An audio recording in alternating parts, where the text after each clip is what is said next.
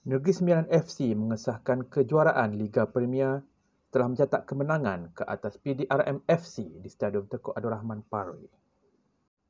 Namun begitu, semasa majlis penyampaian hadiah, pingat yang tidak mencukupi telah menyebabkan akaunnya merajuk dalam proses penyampaian hadiah.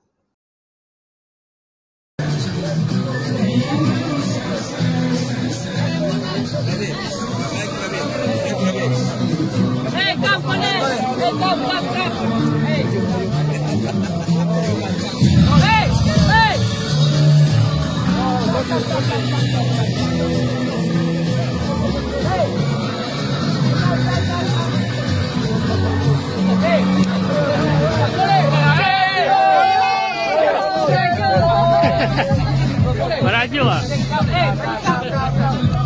Are you going to the champion in the house are going to make some noise? Thank you.